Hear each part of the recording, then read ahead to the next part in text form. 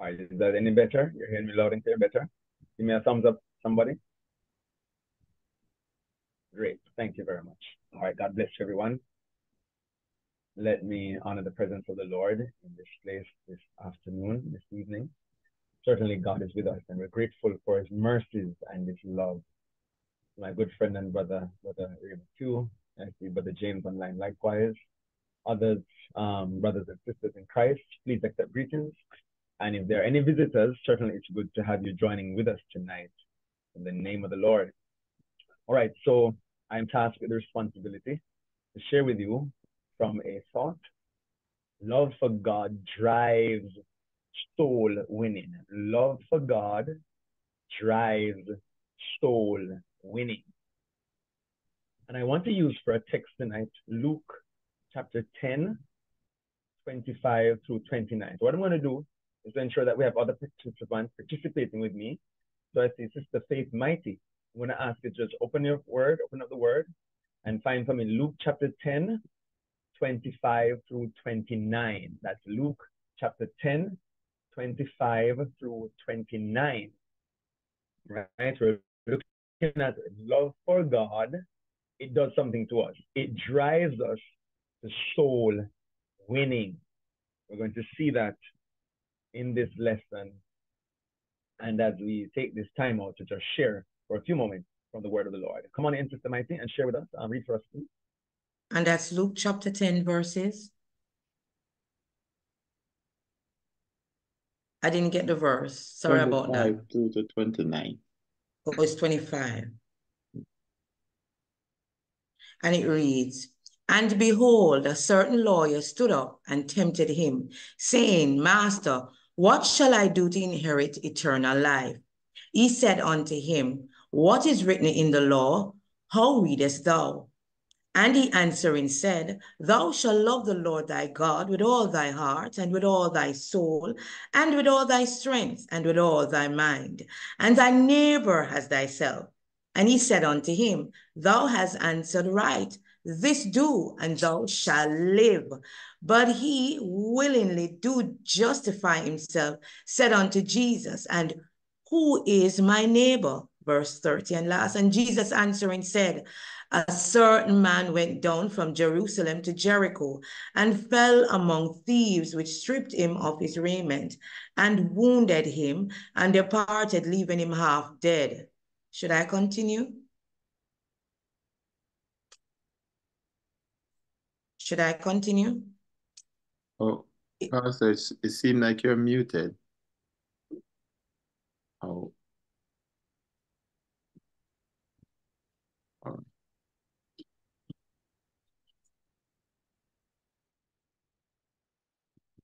Are you hearing me now? Am I being heard now? Yes, we're hearing Yes, you. sir. All right, great. I'm not sure when I am when you're hearing me. I am not hearing you. Hold on. Microphone check one two one two. Microphone check one two one two. Microphone check.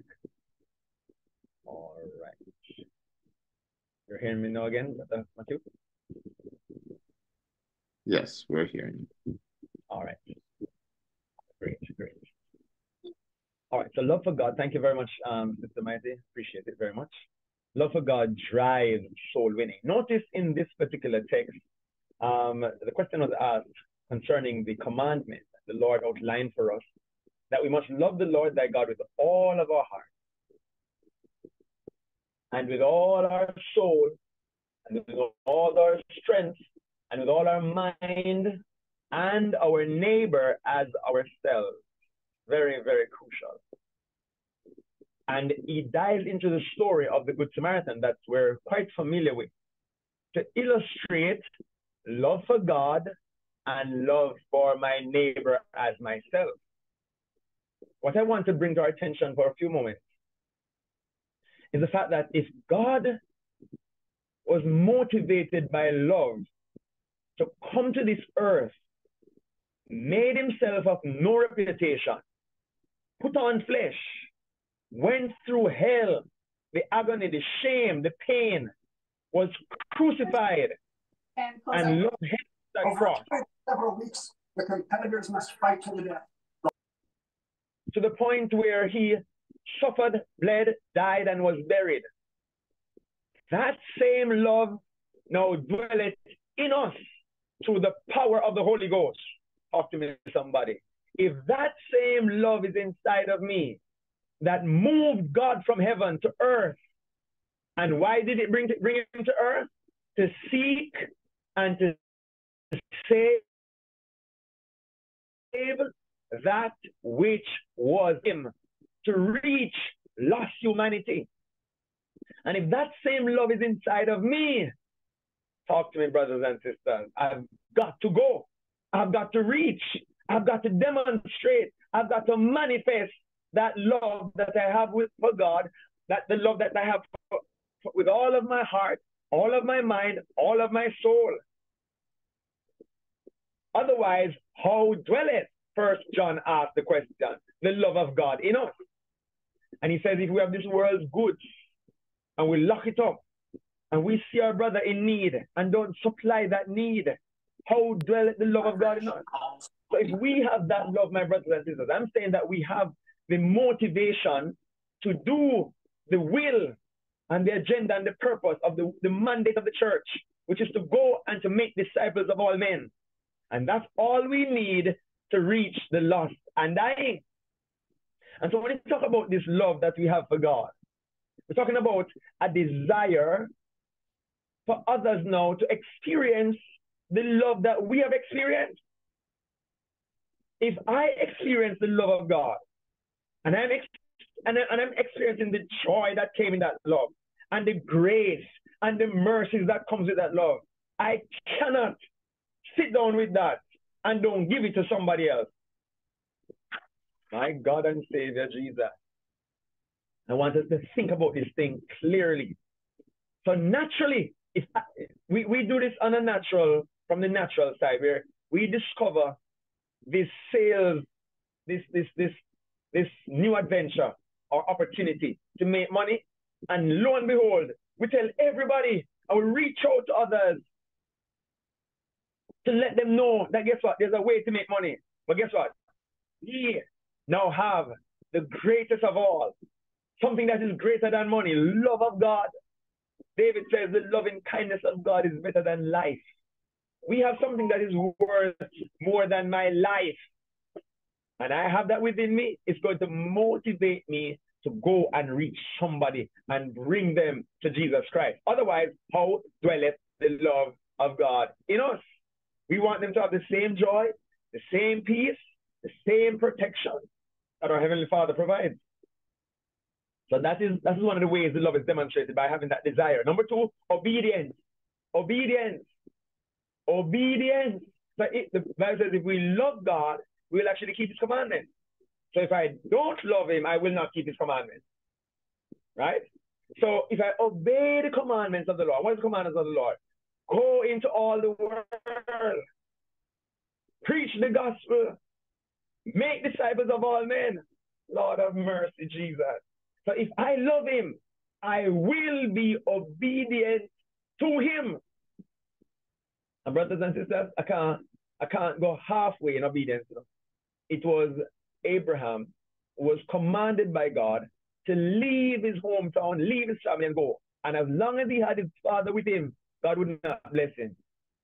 He traveled and carried daddy with him, and God would not bless him until, because guess what? Partial obedience is called disobedience. And so if I love him, not only am I motivated by this desire that is naturally within through the power of the Holy Ghost, but I am also obedient to the word of God. That's number two. Number three, I have the same compassion. We're talking about loving manifestation now. I have the same compassion that Jesus, oh God of mercy, Jesus, my God. oh God of mercy. Jesus saw persons on many occasions was moved with compassion. Let, let, let me help us bring us to a place of understanding. The man at the gate, beautiful, was there for how many years? 38 years. Jesus died at what age? 33 and a half years. You know what that means? That man was at that school before Jesus was born. Guess what? He was waiting on the love of God to reach him, my God and Savior. And so you are born, good God from heaven, and you have the love of God invested in you.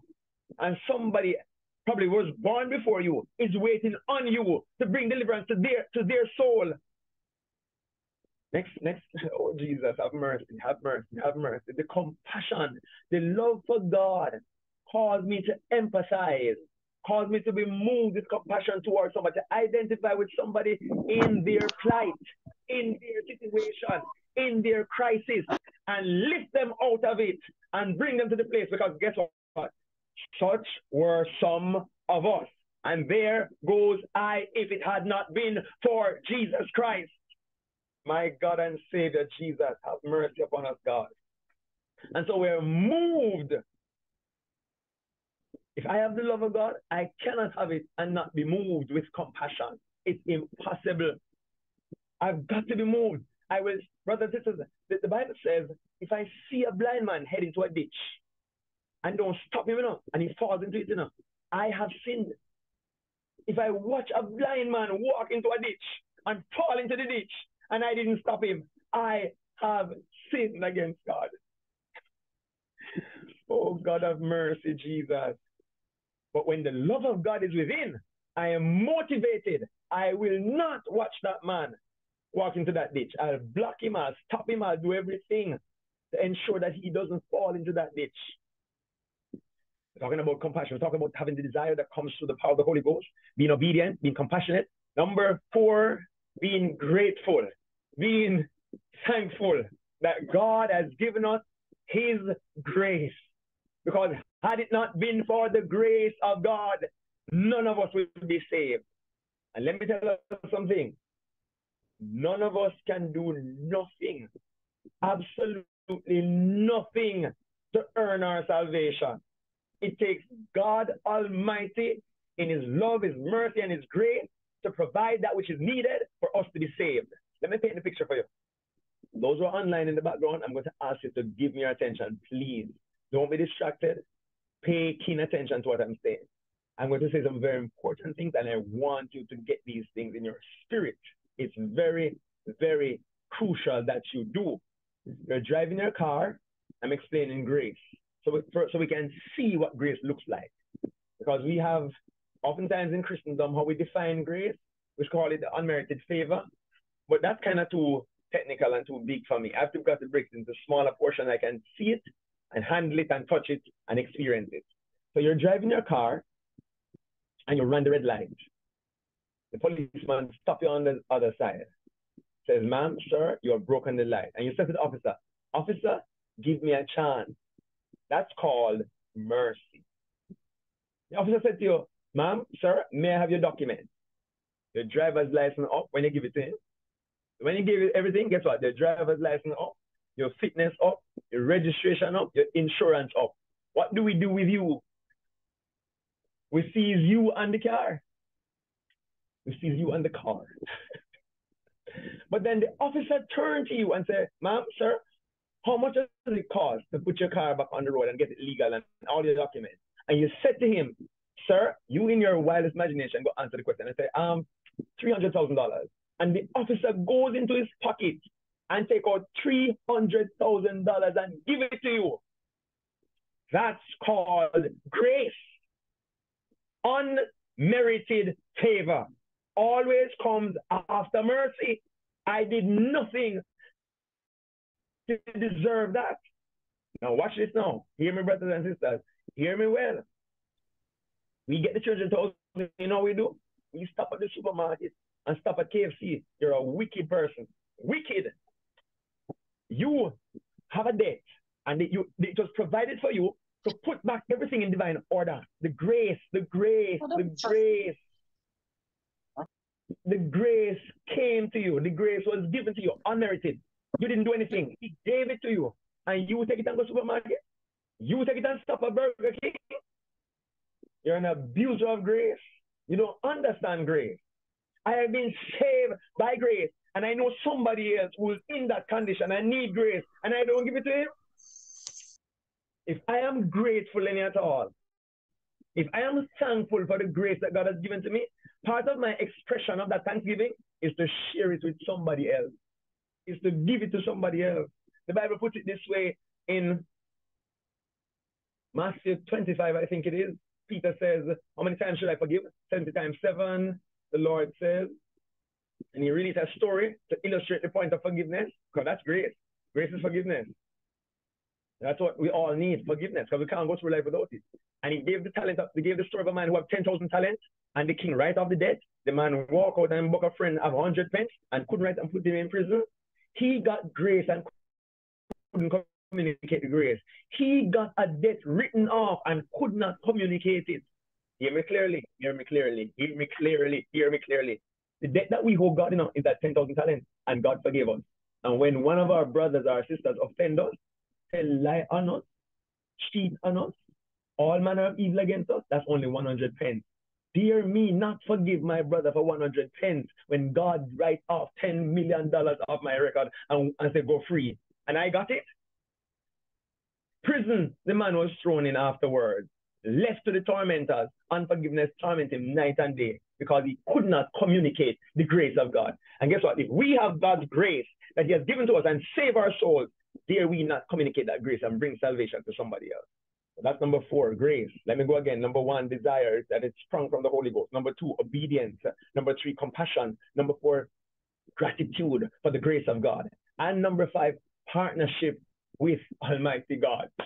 Oh, God of mercy, we have an opportunity to partner with God. Because guess what? Only Jesus alone can, can win souls in. Can I tell you? But He's now tabernacle inside of us, and He's going to use us as vessels to reach the souls. Because guess what? Mankind is dead, dead, dead in trespasses and sin. There's only one man I can know raise, that can raise the dead, in name Jesus Christ of Nazareth. And he dwells in me. So guess what?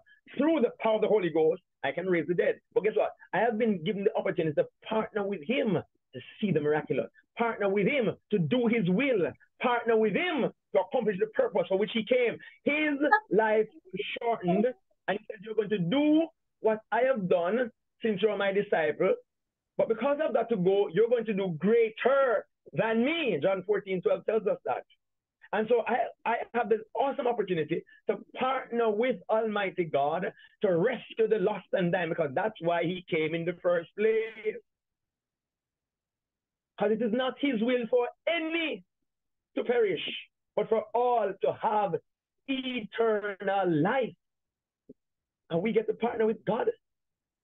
Oh my God, the creator of heaven and earth. I get the awesome opportunity to be in partnership with God. Whoa. To fulfill the will of God, to live a fulfilling life and live life more abundantly and have the assurance of home with Jesus, of being at home with Jesus afterwards being, being, being with him for all of eternity, I get that opportunity to partner with the greatest partner ever. But then there are consequences if we don't go. So, so wrapping up that session, we need to have the desire inspired by the Holy Ghost. Number two, we've got to be obedient to God, obedient to God's word. Number three, we must have compassion. Number four, we must be grateful and number five, we have the opportunity to now partner with God. We're talking about the love, what it has done to us, enabled us to submit so we can partner, show gratitude, be compassionate, be obedient, and motivated by that desire called love. But there are consequences. And Matthew 5, 14 to 30 tells us about the consequences. So we are told of a story of a man who got some talents, five, two, and one. And the man with the five went out and traded it the one with the two traded in. The one with the one, he buried it. Follow me closely. He traded the five and got five more. One with the two traded the two and got two more. One with the one buried it. Now the day of reckoning comes. You have to give an account for that which God has given us. All of us have the Lord's goods we have Holy Ghost, we have life, we have time. Let me say it again. We have time. We have time. We just use it otherwise than to the thing that matters most. Because only what's done for Christ will last. We have time, we have talent, we have treasure. We have everything we need to get the job done. There's nothing lacking. Everything we need is available to be successful in this endeavor. And so there are consequences. And the consequences we saw in that text in Matthew chapter 25, where 14 to 30, where the man with the one that buried it, when it was time for him to get home, the Bible says, the wicked and slothful, lazy servant. It is a wicked and lazy sinner. It's a wicked and lazy servant. That means wicked and lazy pastor, wicked and lazy chorister, wicked and lazy musician, wicked and lazy usher, wicked and lazy same. If we have the Lord's goods and bury it and don't do anything with it, woe be unto us. That man was what we had was taken from him and he was thrown into outer darkness where there's weeping and of teeth. And so there are consequences. But I don't want to be motivated by consequences to get the job done. We need to be motivated by the love of God. And though I am here sharing with you concerning evangelism and reaching the lost and dying, it must be done from a place of relationship. That is my last point. It must be done from a place of relationship. So I look at first, number one, love being manifested. I look at the consequences, number two. And number three, I'm saying it needs to be done from a place of relationship. For example, give the example and it tells us clearly. Peter is in prayer as he normally is. And while he's in prayer, because he has developed these habits, these customs that are crucial for growth and maturity in Christ, the Lord interrupted his prayer and said, Listen to me. I have some men downstairs. I can show you a vision with some animals in a sheet rice killer, eat. And Peter responded, I don't eat anything common or unclean. And then the Lord pulled him out of that and instructed him to go with the men that are downstairs. But you got to understand, Peter was not praying to find out where to go. Lord, I want something to do for you, Lord. I want something to do for you, Lord, today. Show me what you want. No, he was praying and fostering and developing his relationship with God so he can be at that place or should God say, hey, I'm ready for you? He's ready. So he has a devotional lifestyle. As you know, and I know, that Peter would not go into a Gentile house under normal conditions. It had to take God Almighty to pull him out. And even when God pulled him out, he was still struggling. But guess what? He got his assignment out of his relationship. That's the point I'm trying to make. He got his assignment, he got his duty out of the relationship that he has. And then he goes. and then I Ananias, the same thing. and then Ananias is praying, and the Lord said, Hey, I want you to go down to the street called Straight by Jason House. There's a man down there called Saul. And see you coming in there. I tell you, Ananias don't want to go there. Ananias is doing what he normally does, fosters his relationship, praying, seeking the face of God. And I want you to notice something. These men are praying. And these men are getting response. We're not talking about saying a prayer because too many of us say prayers and we don't hear nothing. Prayer is two-way flow of information. This man heard Go down to the street called Straight. Go to Jason's house. Somebody down there by the name of Saul waiting on him. You're coming in, laying hands on him. You're, his case of blindness going to go. And and and and Ananias is saying, Lord, but that's the man who wants to who going around killing Christians. And say, yes, man, that's the same one I'm talking about. He's a chosen vessel to me. That means Ananias is saying, well, Lord, if you say so, no, I'm willing to lose my life for you because I love you more than anything else. That comes with a relationship. And out of that relationship, he is tasked with a duty to go. If we love God with all of our heart, all of our mind, all of our soul, we will go. Guaranteed. If we don't love him, that's another. Over to you. Over to you, brother You. Amen. You have time, sir. Go ahead. You have time. You want you want to give me more time? I think you should use it. Well, you could use the time for the question, you know, because I think a couple of questions are in the in the room. yes, I am sure. Amen. Um, that there are some questions. So were you finished or you want to bring in the questions and then go with the questions? Yes, I'm. I'm through. I, I kind of summarized what I wanted to say in, in, in, in, in half an hour. I could have stretched, stretched out more, but I want to I want to give some persons an opportunity to, to ask because sometimes usually the question and answer session take a little time, especially in yes. helping persons to appreciate. All right. So I, I'll throw the question, the first question out there. You just spoke about um, um, the slothful servant, right? Um, lazy. Is it is it an okay thing to call the people of God lazy? Um, if not, how do we navigate in bringing across the message in comparison to one being lazy? How do we navigate that? That's a word that the Bible uses on more than one occasion. In fact, the, the wise man Solomon has a couple of verses well that he deals with the slothful, the lazy. Um, I just use the words that the Bible uses because I think they are impactful and meaningful, and I, I don't think it's enough sense. And if if if you, of course, I do at Bible school, and if you look at the description as to how God describes people in the Old Testament, it would make your mouth drop down. And call them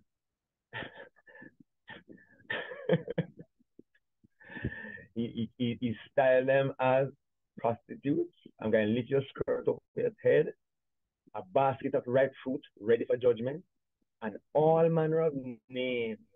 He described them in describing the situation for them to see their condition. So um, the Bible uses the word, so I believe I'm at liberty to do the same. Amen. Thank you. Amen. If there are any questions at this, further questions at this time, please feel free to raise your hands and um, we will acknowledge you.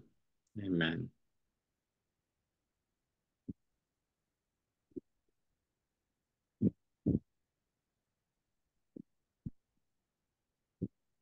I know Minister uh, James had a question, so I'll also let him go ahead uh, with his question. Go ahead, Minister Barrington James.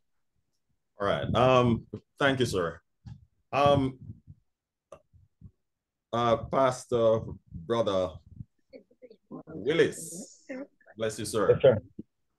Uh, do you think sometimes, you know, a bit to be so political, politically correct and inoffensive, we lose the essence of what is it that the Lord commands us to to to to to speak. You know, um, and and this is a really a follow up to what Reverend Ray asked, because you know we we live in a generation where people are so easily offended. It, and I find out that the sinners, well, at least from where I stand, are less offended by by the truth of the description than the saints of God. So it, that has been my experience. So I'm I'm asking you if you feel that in our bid sometimes to be so politically correct that we lose the essence of you know what is it that we should be communicating to to people. All right let me let me answer the question by asking a question. Um you speak of the word lazy but the word that came before lazy was wicked. And i think wicked is actually worse than lazy.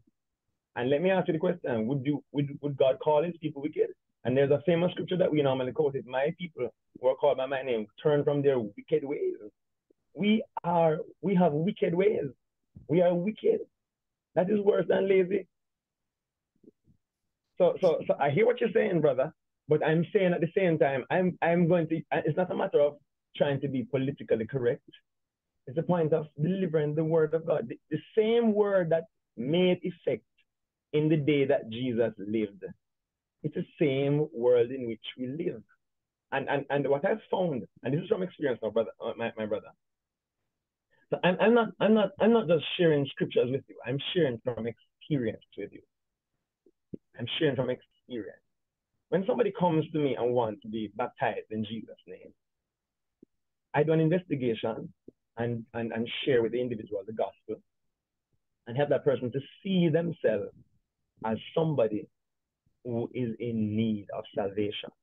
And that means I've got that person needs to see themselves as a sinner, see themselves as condemned on their way to hell.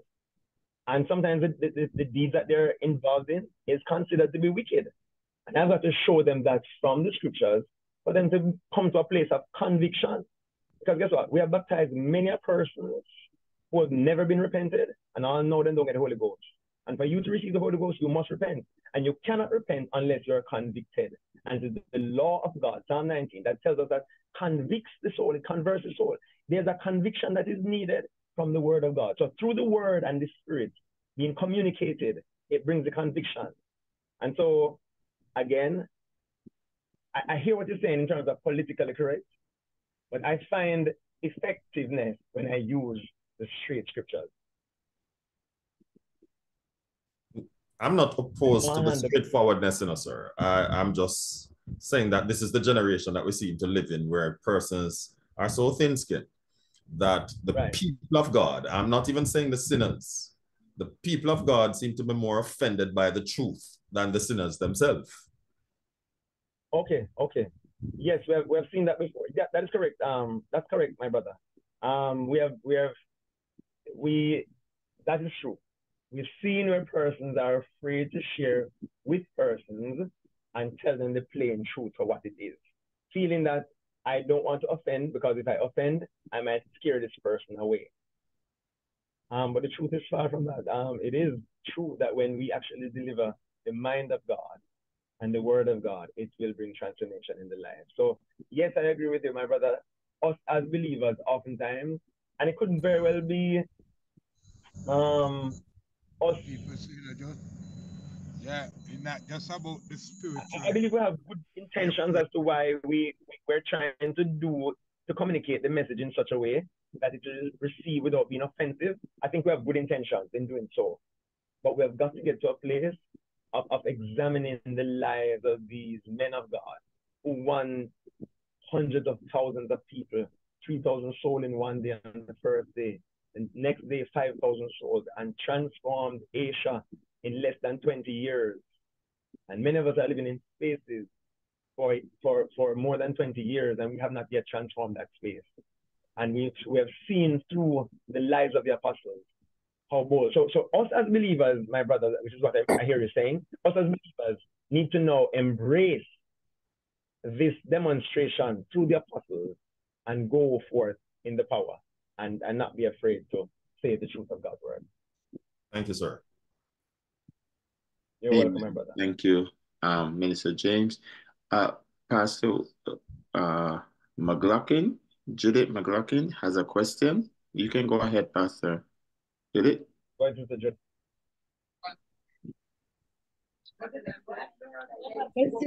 No, it was a mistake, sir. I'm sorry. It was a mistake. Okay, no problem.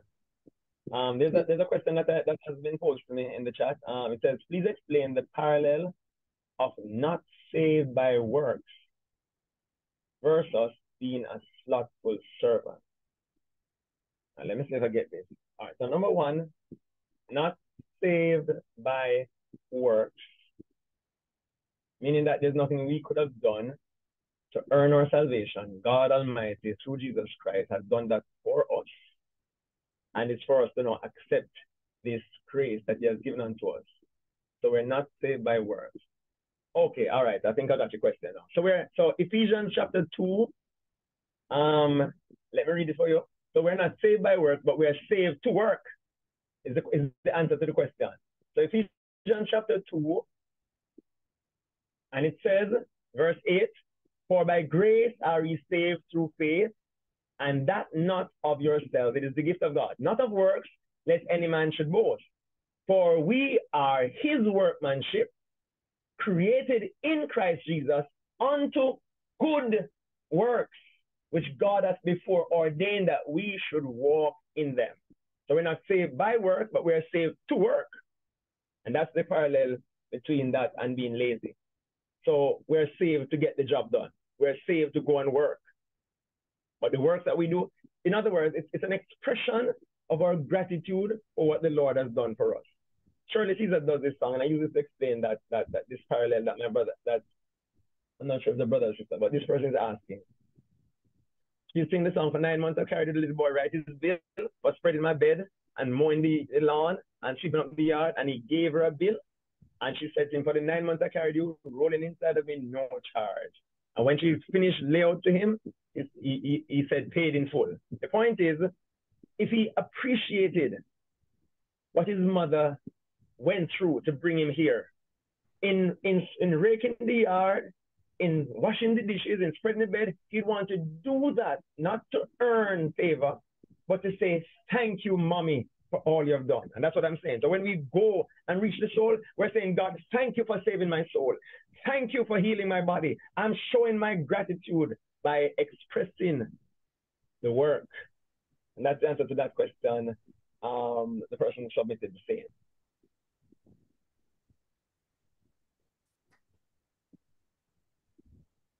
All right. So another point that is made in the chat, and I agree with the point. I believe there are different ways to convey the same message to different people that would affect change. I agree with you. Completely agree. So we're not going to do it with everybody. We meet the person. I, am involved in in in, in um personal evangelism, home Bible study. So these are one on one. So as you talk to persons and as you share with individuals, you're going to talk to them in that in that in that in, in, in that manner so you can actually be received but it doesn't negate it from speaking the truth. One thing that I use predominantly in Bible study session is the word of God. So like this text that I just read, I would ask the person to read it. And when they've read it, I would ask them if the Bible is saying that they're wicked. And they are confessing and saying yes. And while they're confessing, they came under conviction and start to cry in their rooms. I'm telling you from experience. I asked them to read the text and they confess that I am wicked. I am a lost sinner and I need Jesus. So, so the method that I use personally is ask people to read the Bible, and then I, well, as they read, I ask them the question based on what they just read. And they say, "Are you saying that I am not saved?" I said, "Read the text again, my sister." And she read it again. I said, "What did the text say?" And she said, "You are saying I'm not." I said, "Did I say anything?" And she has to come to the place of confessing. And I've seen many a person gotten saved like that. So thank you for that um, point, my sister. Yes, I agree with you. Amen. Pastor, the, the second question is going, oh, sorry, not the second, but the other question is going to be based on point number two, um, obeying God's word. Uh, you stated that Abraham, as long as he um, had his family with him, uh, that he was being disobedient. Oftentimes we are told or encouraged that God has saved us to save the family or amen. He doesn't just call an individual, he calls the family. Could we get some clarification on that as it pertains to family and how do we navigate our um, those terrains? All right, thank you very much for that, for that, for that. So um, certainly, once we have become saved, we have the responsibility to reach out to those who are among us. And, and we have seen the example of Peter going to Andrew. Um, I was Andrew, Andrew, I think, going after Peter afterwards. He was reached before. And so they're targeting their own loved ones, their own family members, first and foremost. We see that taking place in scriptures. Because when you get saved, you're going back home to your own family. So it is expected that we are going to to definitely reach our family. Um, and, and that's a very powerful point you're making because many times we take our families for granted. They're living with us. We see them there and we don't fast for them. We don't pray earnestly and go into sackcloth and ashes and, and really get down and cry unto God on their behalf, travailing to give birth. Um, we oftentimes, many of us will do it for others, but not for our family members. But it is expected that we do so for our own family members first and foremost, I believe. And so by all means, um, the, text, the text with, Abraham, as you know, I know you're not, you're not, even though you make mention of, you're not using it in the context, because that was an instruction came directly from the Lord for him to lead the family, right? But um, once you get saved, we need to reach everybody, including our family.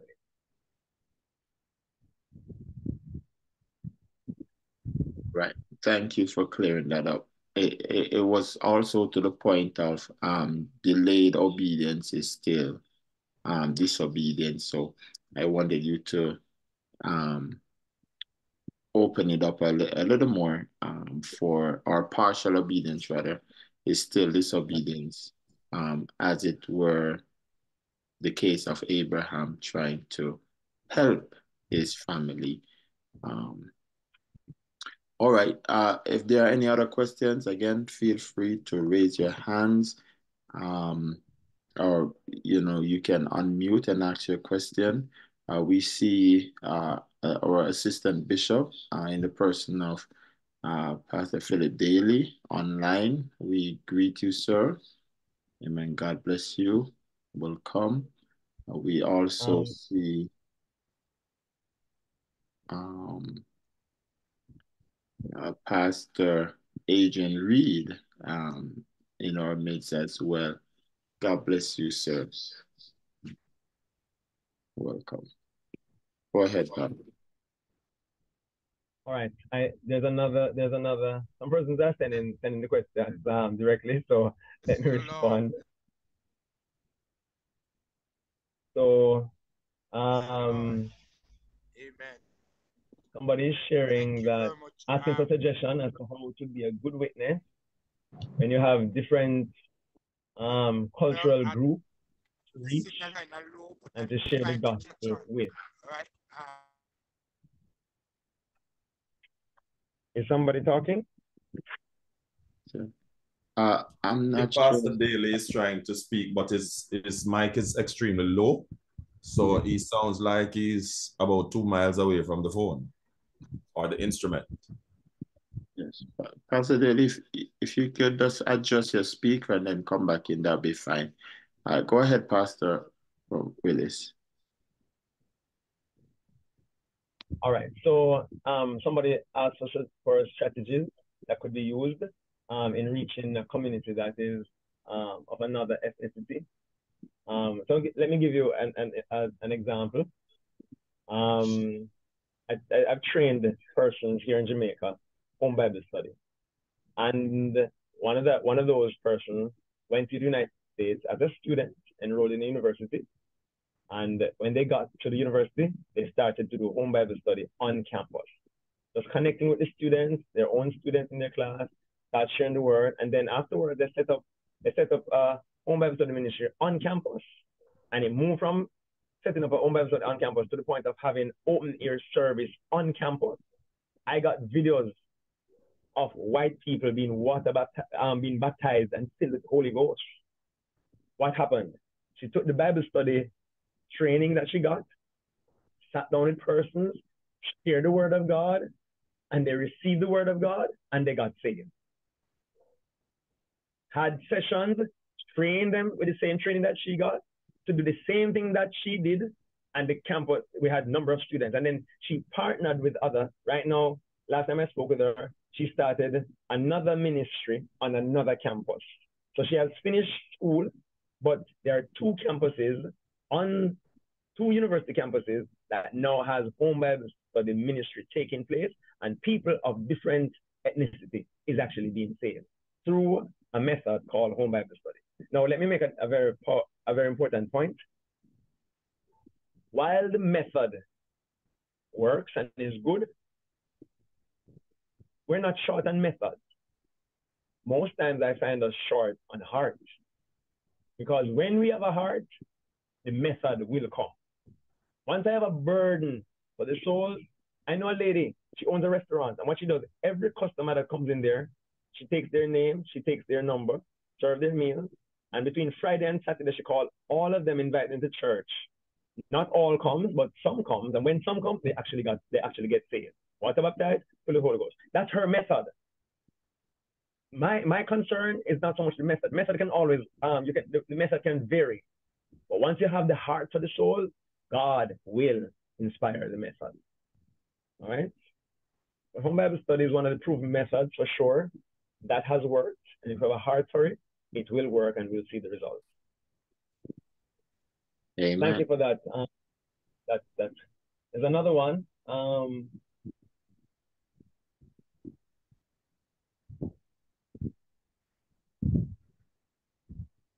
all right, very good question. Um, example that I raised by Brother Sister is asking, Ananias praying and then they receive the instructions to go. Should this be the strategy we use to initiate the evangelism move, or should we have target and seek how seek God how to pursue? Um, all of the above. and that means we need to live the devotional life and God will speak to us in reaching others. And we also need to go because the instruction is for us to go and to reach the Lord. So as we go and we share, there are other opportunities. So there are different ways God will use us to reach souls. And we just need to go um respond by going number one, because the command is already given. And we can also go and seek the Lord and say, Lord, A, B, C, D, E, F, G, and the Lord will speak to us. So all of those methods are proven and scriptural, and anyone will do. For, for sure, as a body of believers, we have a responsibility to go. And individually, we must go. In our workplaces, where we're, we're in our workplaces and they're unsafe there, it is my responsibility as a co-worker to reach my brothers and sisters. They're there. They're a captive audience. They're my friends. I, have done that at the office. I, I read, when I was in Bible school, learned a lesson, Psalm 126, 5 and 6, that if we go there in precious seed, we shall doubtless come rejoicing, bringing in the sheep. And I looked around my office and I learned that principle for the first time, and I said, Lord, who can I try out this thing on? And I was trying out the word of God. And I selected one young lady. She didn't know I was praying for her. I decided to talk to God. I wanted to change my strategy. Instead of talking to the persons about God, I wanted to talk to God about the person. And I went into fasting. I went into prayer. I sought the Lord. The young lady had nothing to do with Pentecostals. She don't like us. She don't like our standards. And I watched that young lady leave from where she was, invited me to Pentecostal Tabernacle Wildman Street for her baptism. I watched her go down in that pool. And two weeks after, God filled her with the power of the Holy Ghost. That's another method. Just going before the Lord, selecting somebody. I was, I was trying out scripture. Lord, you say if I sow in tears, I shall reap in joy. Let me find out if the Bible is true. And so I sowed in tears and I reaped in joy. So all those methods are proven, are scriptural, and should be employed.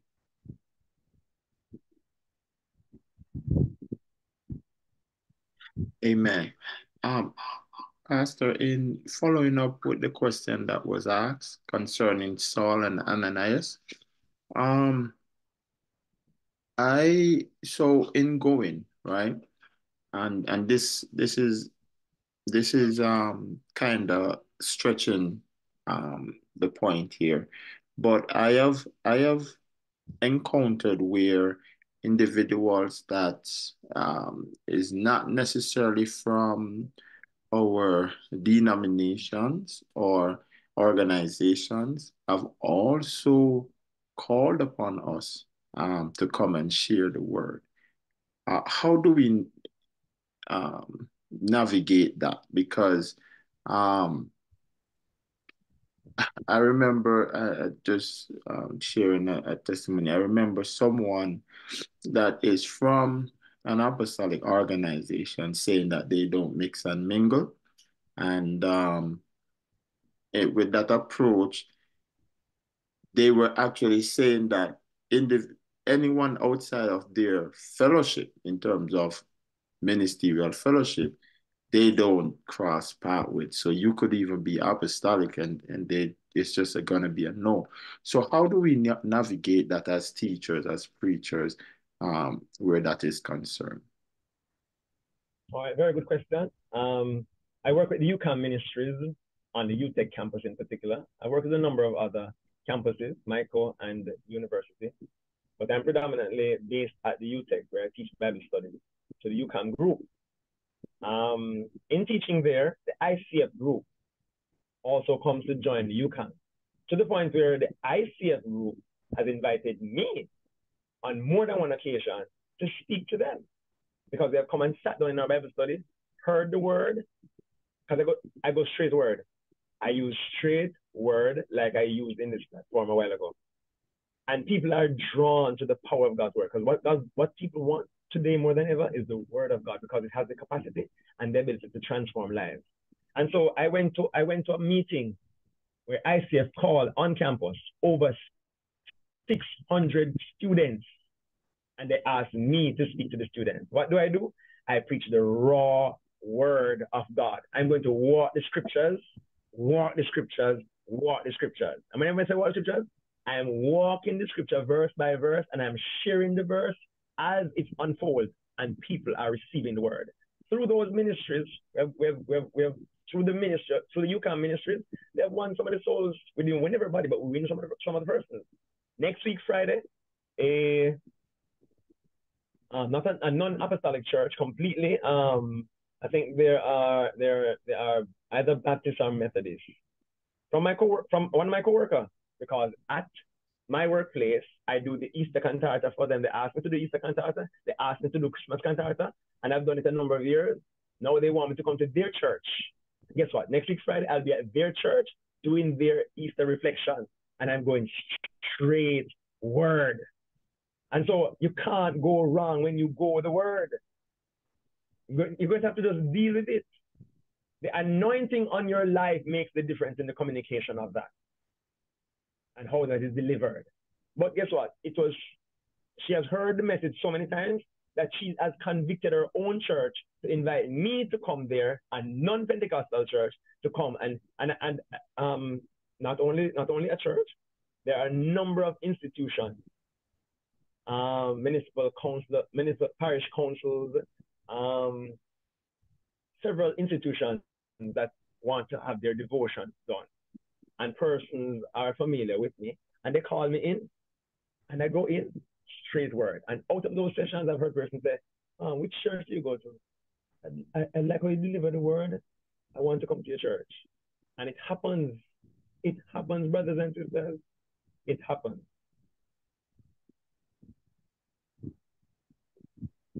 Amen. Thank you for sharing that. Um, those pointers because uh, I too, um, being a part of UCAM, for those of you that don't know what the acronym uh, speaks to, is the University College and Apostolic. Did I say it right? Ministries, yes, sir. Ministries, amen. And um, when I was attending Edna School of Visual and Performing Arts, I was a part of the group. And, and what I found that is we were given a platform to minister to people at the university level that had nothing to do with apostolic or Pentecostal, the, the apostolic or Pentecostal experience. Um, but because we were given the opportunity to share, um, many uh, believed in the Rastafarianism um, concept. And in those environments, we were given the opportunity to share. And we, to this day, they're still apostolic. I, I can remember the souls that received the gift of the Holy Ghost. Um, but that was at the college level when I when I when I then started uh, becoming more involved at the, the church level. Um, I realized that it can we can easily run into some red tapes, and uh, for individuals, especially those that have been kind of exposed to a different uh, module or concept, as UCAM or stuff or stuff like that, um, we are seen as the rebellious type. Um, in in um, we're seen as being rebellious at times when it comes on to going. Um, so I, I, I'm I'm glad that you kind of shared that. Uh, removing the rebellious type though, or or stuff like that. What are some practical ways in following up with this question that if we if we're in an, an experience like that, if if if if it's not a person like you that's a lead pastor, um, maybe they're just a, a, brother or a minister in the assembly, sister, how can they navigate um, when the Lord has spoken to them, laid on their heart to do something, or an invitation has been given? How should they navigate these um, things, especially with their pastor? Uh, number one, if any member of, well, I, I want to think that um, the pastor for this group certainly has outlined that. So if you're asking me from my personal perspective, then I'm going to say that um, any member of any assembly that's invited to go anywhere, I believe that that person should consult with their pastor first to find out whether or not they should permit, be permitted to go. And whatever the pastor tells you, you work with what your pastor tells you. That's my belief. Right? Your pastor is the one who is there as your spiritual head and covering, and you submit any invitation. You don't. I don't encourage anybody to take it up on their own to go out on their own. Even when you have a birthing of a of a, of a ministry or, or a passion to do something, carry to pastor. That's how home Bible study started for me personally. Um, I went to my pastor with it. I shared it with him, and he said, "Go right ahead." I went ahead. I did it, and I saw results, and I brought back results and showed him of persons being saved. And he said, "Well, you need to launch it into a ministry." I said, "All right, no problem, sir." And we launched it into a ministry, and it grew from strength to strength. And more than one church now has the ministry. So consult with your pastor, get the blessing and the leading of your pastor, and the Lord will lead and guide accordingly.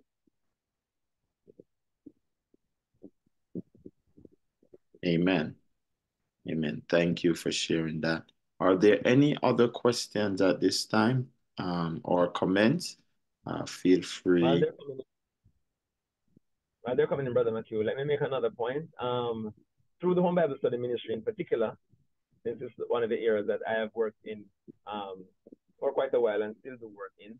Throughout COVID, I did home Bible study even online in Malaysia people coming under the anointing of the Holy Ghost online doing a home Bible study session. We, there's no bounds. We have in we have 80 communities, and guess what? There are no barriers to home Bible study because these persons are inviting you to come to their homes. So where I can't have a, a, a street meeting because in a gated community there are certain rules and regulations. Guess what? There are members in that community who invite us to come into their homes, sit down with them and do a Bible study. And guess what? When their lives are impacted, they tell the neighbor about it, and you get an opportunity to infiltrate that community without any barriers. Um, and so this is one of the avenues that I've found I've found to be really, really, really powerful and impacting and life transforming. Because you end up forming a partnership, a relationship with these persons. You're going to somebody's home six to eight weeks, one one day a week, for about 45 minutes, to one hour, sharing with the word of God to the point where they start to now trust you and they start to ask and to open up to you. And not only do you give them the word, sometimes you buy a bag of groceries because sometimes the person might have some need and you supply the natural need and you supply the spiritual need and they come and get saved. I met persons of other faiths like that in their homes, gone to um, Universal Church, for example, and they do all kind of symbolism and water splashing and all those things. I don't. All I've done, gone into the homes, share the word of God. And after sharing the word of God, I remember this lady after the fourth, after the fourth um study, she never went back to the Universal Church. She came to she came to Bethel and she has been she has been there since. It's over my soul.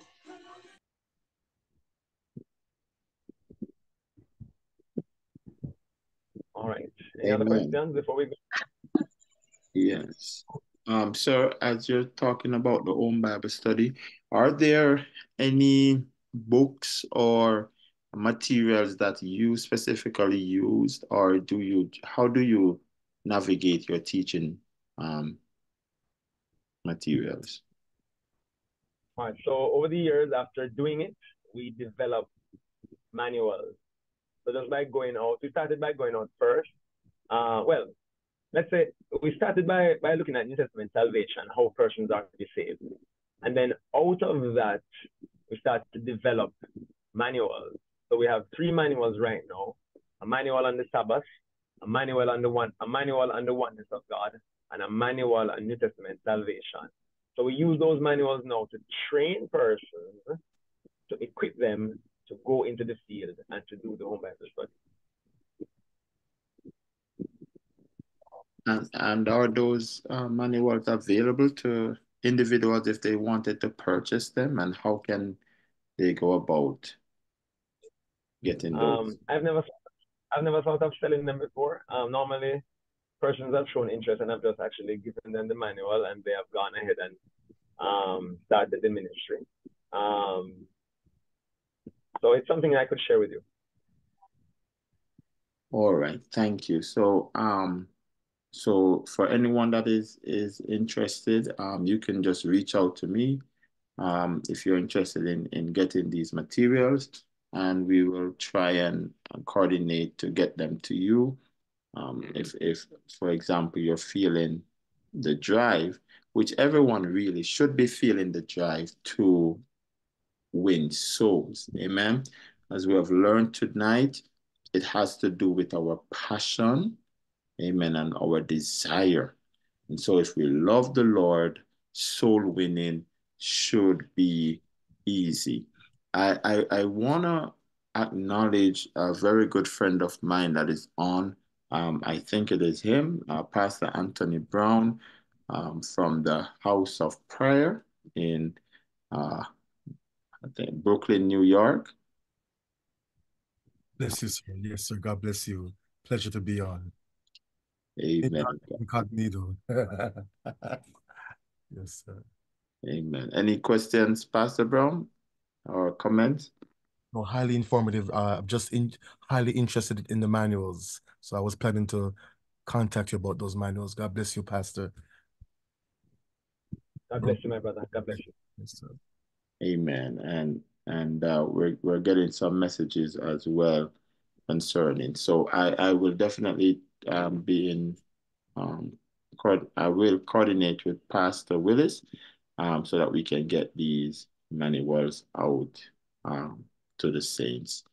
Amen. Thank you again, sir. Amen. For coming and for sharing.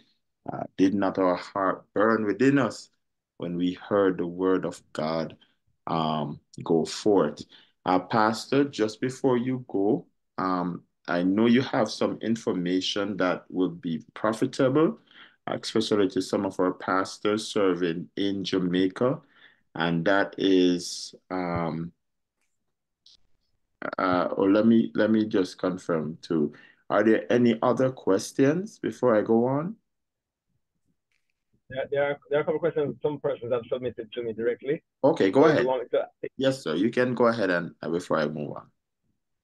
All right, no problem. So another question that's in the chat: uh, How can we impact our fellow brethren? No. How should we progress in this area? Should we start light then go heavy, or just hit action at the initial stage? Also, any other tips to start a home Bible study? All right, very good question. Um, um, you want you want me to explain that, Brother Matthew, or you want to set up another session to do the to do the home Bible study session itself? Oh yeah, well, no, you can go ahead because this is why we're here. We've come to learn tonight. No problem. All right, so um, let me answer a question in terms of she say go heavy or just hit Acts two thirty. So when you go to somebody's home, it's very very. By the way, we, all the persons in this group are Christians, right, Brother Matthew? Okay, all right. Yes. But if yes. you had a visitor that was not if you had a visitor that was not there, I contact a live home Bible study with you with that person right now in the face of you all. Okay. But um if you go to, number one, how do we get to somebody's home? Sometimes they come to our church, we have visitors card, and on the visitors card we ask whether or not they'd like home Bible study, and they, they, they check the box and say home Bible study. So they already asking me to come to their home to do home Bible study. We send two persons. No one person go to any home two or three persons go to a home, sit down with that individual. Good evening, how are you today? I see you've expressed interest in having home Bible study. Is there a particular area of study that you'd like to do? You're talking to the individual. Um, no, anything, I'm fine with anything. All right, let's start with salvation. How about that? Are you saved? And she might say, Yes, I am saved. It's all right, wonderful. Let's go to the Word of God. And you go to the Word of God and you let her read, except a man be born of water and of the Spirit, you cannot enter the kingdom of God. And you ask the person, did it say cannot enter? And then you answer the person, can you enter? And they have to answer the question. You're asking questions. Asking questions is what you use to win souls. Not, not argument, not pushing your thing, asking questions based on the scripture. Let, let the scripture do the work. Let the scriptures do the work. And whenever a question is asked, you use the scripture to answer the question. And so we give them the scriptures and the scripture. And that's why we have seen persons in their home broken, weeping, confessing, and guess what? The gifts of the Spirit start to operate. You talk about we come to church and we're looking longing to see the gifts of the Spirit, and it's not happening. I walk into somebody's home and the Lord says, This young lady has been sitting here the whole day contemplating suicide because she's her life, she feels like her life has crashed and it don't make any sense. And instead of going with the script that I went, the Lord says, Talk to her from Jeremiah. And I said, I said to her, um, you know, there are persons in this world who think that life don't make any sense anymore. and they feel like giving up and throwing in the towel. So I'm drawing her, I'm drawing her attention to the story of her own life. And then while I'm sharing that story, the conviction hit her, she's crying. And she begins to confess. And I said, the thought that the Lord thinks was, you're not evil, but of good. And she started to bawl even more because the Lord is now dealing with her and speaking to her. So how do you approach it? Sensitivity to the Holy Spirit and and what you call a um, deductive analysis. So you're you're talking, having the conversation, and you're feeling where the person is at, and based on where they're at, you draw the word, you draw the sword, you draw the scriptures that is relating to what the person is saying, and allow the Lord to lead you in the session. All right, so before you get to that that segment where you can operate like that, because I didn't start like that. I started out with my script in my hand and I worked the script. But over time, God give you the script. When you walk in the room, God gives you the script. Because He tell you what's happening in people's lives. Lady say, you know, I'm not doing anything. I just listen little one man me have on the side, you know. And God not God not punish me have little one man on the side. I never ask her about any man. She's telling me because she's under the conviction of the Holy Spirit. What I'm saying, I'm saying the gifting of the Spirit is going to help us to win the souls. We cannot win the souls by ourselves. I said it early in the presentation. And so uh, something I hear the questions come in and we seem to be afraid to say some things. Don't worry, don't worry. The Lord will put the words in your mouth. Be willing to say it and allow God to work it and bring salvation to the soul. All right, so that is that question. How can we impact our fellow brethren who have gotten distracted on their journey and losing hope and faith in their God?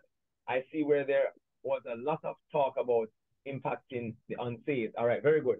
So this person is looking at how do we impact our own selves? How do we impact our own selves?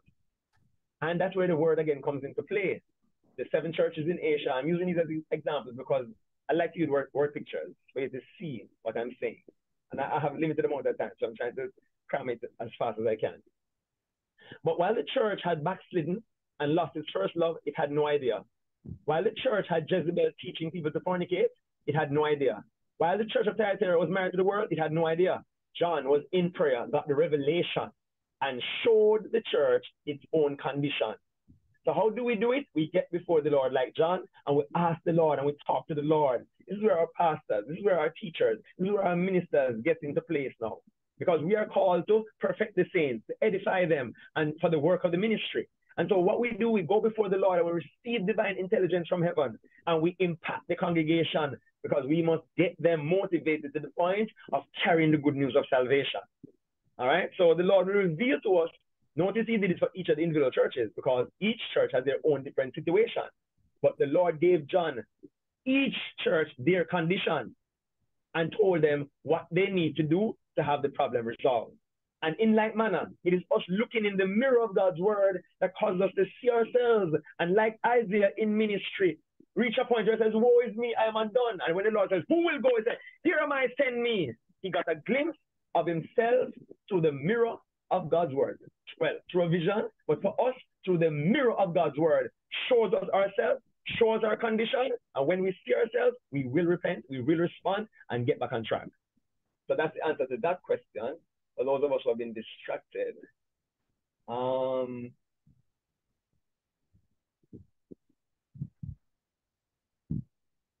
all right, I think that's it that I'm seeing so far. Is there any other?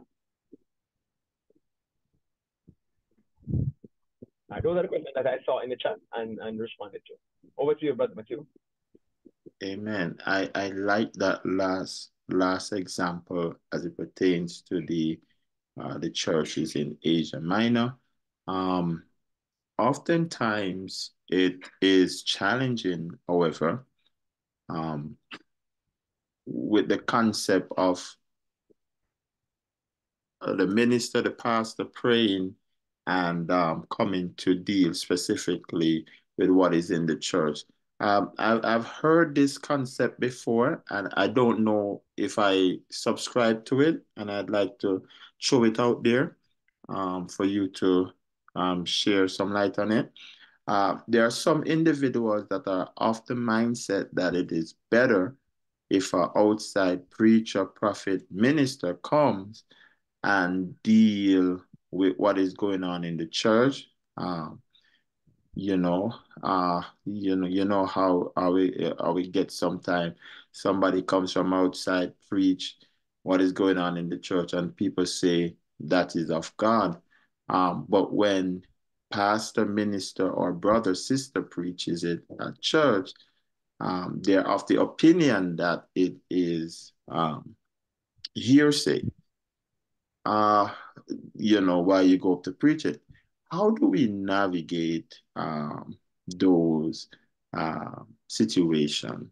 And is is is All it right. a good or bad for you know outside to come or inside to preach, and so that outside doesn't have to deal with it? How do we deal with that?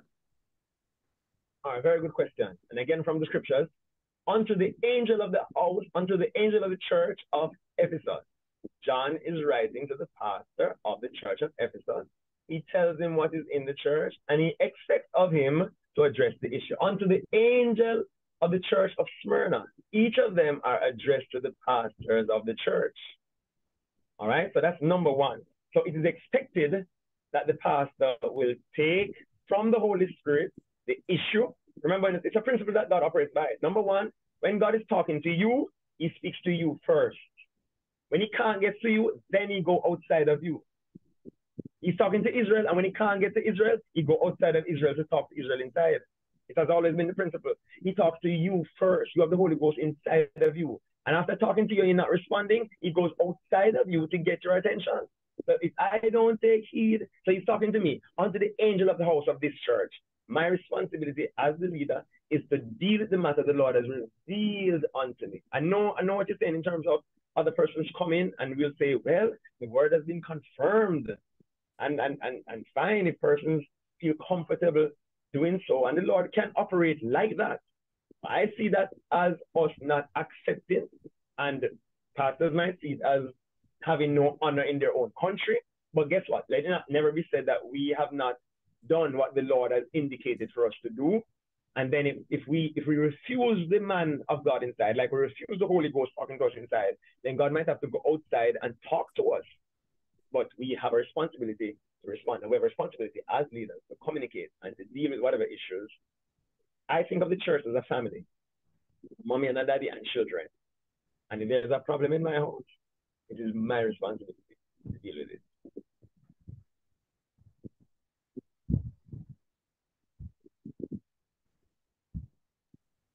Amen. Um, let the record show that I, I agree with that point too. I, I I definitely don't have a problem with um, you know, a prophet, pastor, uh, sister, uh, brother coming from without and confirming what has been shared in the church. But I, I just I think that if someone has to come from outside and it's the first time the church is going to be hearing it, then I think that we have failed as ministers, as pastors. Um, you know, it's almost like it almost as if we would need to go back to God and, and say, Lord, you promised us that you would give us pastors after your own heart. Uh, why why is it that another nation has to come and chastise us, someone else, and we had pastors that are supposed to be, um, you know, with your heart caring for us.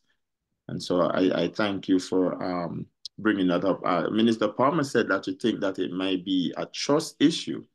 Um, I'm guessing on the part of the saint um, not receiving uh, but but I, I want to say that I don't think it at this point I don't think it has anything to do with trust because Paul writing to Timothy, he, he shared what the word is for. It's for reproof, rebuke, correction, and so if if if that is not coming, I mean, whether we're best friend or not, if if the word of God is going to be questioned, then you know there that's there that's great concern. So I, I thank you for for pointing that out, preacher. And underscore that point you just made, Brother McHugh. Um, it's going to be it, it's pastors might have that experience where there are struggles within their own congregation. But one thing is for sure, any, any congregation at all, whether they want to struggle with the pastor um, or not, should not. I, don't think once you're anointed that that can be that can be denied because you you will have persons who don't like you. That is a given. That comes with the turf and the territory. But even to those who hate you, will have to acknowledge that the anointing of God is on your life. And and, and it's obvious. And, and I've known of persons in, in different churches who don't like the pastor. I've had to counsel persons like those. And and um but they can't deny that God has called this man or called this woman, and this person is a set man or set woman for the hour for this local assembly. And so with that mindset, and I, I, I, know that pastors go through various different struggles, but we know as pastors um, what comes with the territory and are persuaded in our own hearts. I guess what? Even when that is so, we operate within the calling, within the anointing that God has given to us, and we still get the job done. In season, out of season, we are we're, we are stewards and we're, we're tasked with the responsibility of feeding the flock of God. And God always encourage our hearts because the, while the sights are there, the persons are saying, Pastor. So, so, so, so this, this, is what happened. One person said, Why? Would a pastor get a message? I, I, must be maturing word, but you know, out of order, rude. And another person said, My God, Pastor, that word you gave today, that word saved my soul. Most pastors in you that. And they have heard it on both sides. And so we know, because God has to send a word to encourage our hearts at times. All right? So it comes to the territory, and we are encouraged to do God's work, even in the midst of persecution and opposition. Back to you, my brother. Bless you. Amen. Thank you, sir. Amen. So true. Uh, so true. I, I myself have experienced both sides of the spectrum where that is concerned. Amen. Um, so, Pastor, just before you go, um, I remember in a discussion that we had, uh, you spoke about some things, and this is uh, especially for those that's living in Jamaica. For those of us here, we can uh, in the U.S. we can utilize the principle um, as well. But we, it, as it pertains to mission, one way of helping the mission or the gospel to remain um, consistent in, in, a, in a world that is consistently trying to stifle the gospel is by using, uh, it's by our money. I, I don't know anywhere else to say, how else to say it. Uh, but we power the ministry by our money. Um, and guess what? You can power the ministry by your money, even in debt. And so I'd love for Pastor to give us the principle of how we can be effective, even in debt, and with helping our local churches. All right. Um, so, using what you have, that's where you have to really start. You have to you have to start with what you have first and foremost. Little is much when God is in it. All right. And in obedience to the Lord and doing what the Lord says, the Lord begins to bless out of what you start giving. Um, I really, it, it, it so uh, again, if I use home Bible study as a method, um, if I personally want to do Bible study and I'm not, I'm not able to fund it, what I used to do sometimes, and if I, if, it is that I'm not able to, most times I was able to. But if at all something comes up I'll probably ask the pastor to assist. I'm going out on this on this mission field, this activity, this home Bible study, and we found a couple um brethren who are in great need and like to help them with that need. And the pastor normally helps and assists that area. But start with what you have. Each individual can start with what they have. We can take the little and also pull it together, and out of it, we can start to fund other projects um, that can be that are geared towards soul winning. It could be a, an open air meeting. It could be a home Bible study. It could be a, a street walk. All right, and um, just just I shared with Brother Matthew that just Saturday through the Bible school, um, we did a open air meeting in Port Royal. So we went through as part of the curriculum of the students is to do an evangelism exercise one or two, well, two or three, two or three um, different evangelistic trusts throughout the semester. So we went to Port Royal on Saturday and we went, take all the students and we went throughout the community. That will only cost us the money to drive to go there. And so we would enter the community, speak with the people, connect to a church, a local church within that community, and partner with them. And we go through the community, we talk, we, we share with people, we witness to people, we pray with people, we, we just work with the people. And at the end of the day, I started like like 10, 11, 12 o'clock in the morning. Um, after 11 o'clock in the morning, 12 o'clock at noon. Um, and then uh, we get back to the church. The church puts a little meal together. And then in the night, we have an open air meeting. We would have invited the community to our open air meeting in a central location that the community normally is at. Not at, the, not at the physical assembly, but at an open space where a lot of people normally gather on a Saturday night. And we get that area to use and we have a street meeting. And it's events like these. So, so, so these, these are other avenues where people pool together their resources, spend the money for transportation, the church that they go to and partner with takes on their full responsibility and we just share the gospel and communicate with love. Um, so, so individually, what we have, as small as it is, use it and God will turn it around and bless it and multiply it. Um, and when we start doing that, other persons hear and see the result and start to invest in the ministry. That's another avenue that I've seen, and it has been, um, let me tell you, that has been amazing. People want to see good grounds that are in operation and they put their money there. Because guess what? The, the evidence is there that people are getting saved and people are being delivered and set free. Again, when, when somebody is delivered and set free and you know the individual from your community and people see it, people come to church to come find out what is going on and they get saved as well. Uh, one lady we did a, I did a Bible study when I just started pastoring. Um, she owned her own business. And by the time I won her to the Lord, she brought, she was carrying 15 people in her car. Well, she made more than one trip to Bible study on a Tuesday night. And, and, and she has she has won several, several, um, a good portion of the congregation. Most of the persons in the congregation right now are won by home Bible study. Home Bible study brought them. We went to their homes. They came to our church. We took their, they wrote their name in the one Bible study. Or you're at work and your friend said they want a Bible, your co-worker, or you're on the bus traveling and you see somebody on the bus and you greet them and you say hi to them and you start a conversation. Before you know it, you get their name number, you start a Bible study. Go to their home, sit down with them, they get saved. They have a death in a loved one, they have a death. You go there and you, you, you, you grieve with them and you work with them, you win them to Jesus Christ. Amen. Could you share more about the debt and the insurance as well? All right. So the in Jamaica, we have an insurance company in particular um, that has started a new venture by offering churches um, a policy, insurance policy at reduced rates because they know they're getting a group, they're getting a church filled with people. So what they've done is partner with the churches and offer this opportunity where you pay a minimum and you have different packages.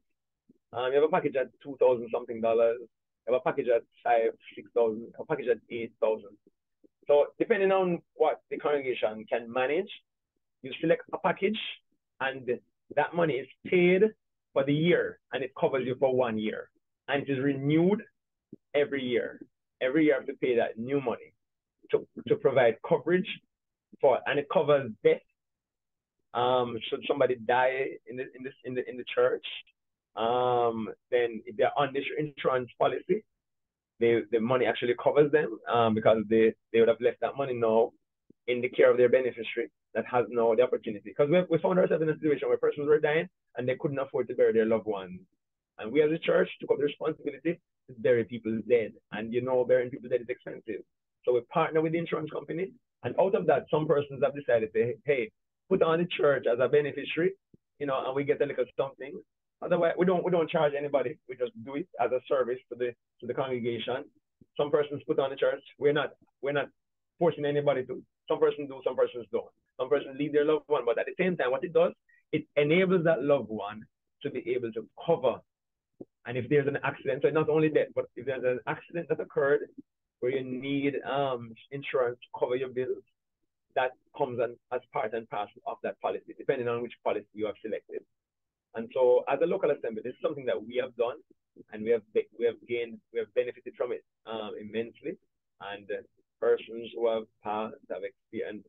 Sad to say, we just had a member who passed um, yesterday, and this person, um, from my recollection, is on the policy as well. So the family has not this strain upon them now to find resources to bear their loved ones because guess what? A policy that costs a minimum amount was able to cover them. Wow. Thank you so much um, for sharing that, Pastor Willis. And our condolences to the church there in Portmore. Um, Thank you. I, I see where Minister Palmer said that the presentation was done at one of one of our um, branch churches in Ellerslie, um, but I'm not sure if the policy has been enacted. And uh, we would love, amen, uh, for our churches. I am calling all our churches in Jamaica uh, to this. And, and, and for those of you that are,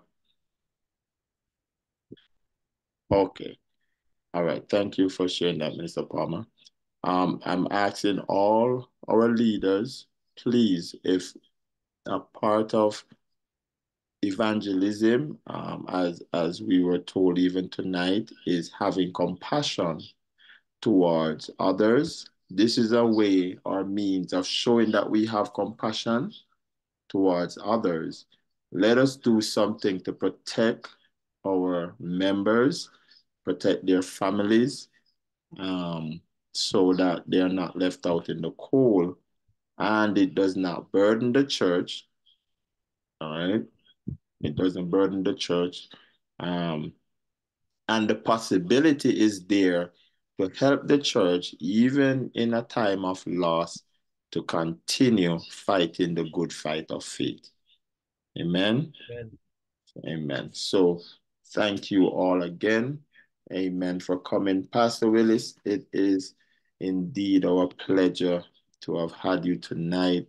Thank you for taking the time to walk us through, amen, um, step by step, amen. And, and, and I'm going to ask our, amen, secretary, Minister Mighty, to just come on and, and, and leave the vote of thanks in Jesus' name.